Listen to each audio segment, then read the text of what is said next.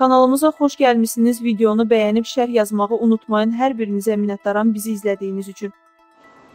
Xankəndi, Xəlfəli, Turşsu, torpaq yolunda erməni hərbi avtomobilləri peyda olur və manisiz hərəkət edirlər.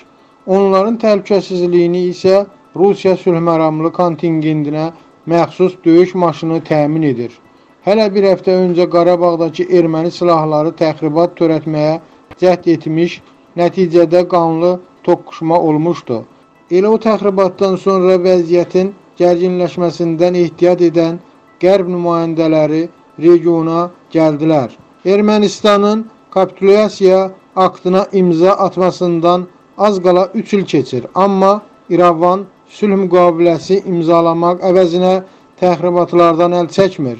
Prosesə qatılan beynəlxalq vasitələrin də görünür vədləri bir səmərə vermir. Xarici ölkə rəsmilərinin və nümayəndələrinin iştirak etdiyi 10-cu qlobal Bakı forumunda ölkə başçısı açıq bəyan etdi ki, Azərbaycan vasitəçi tərəflərə ümid edir.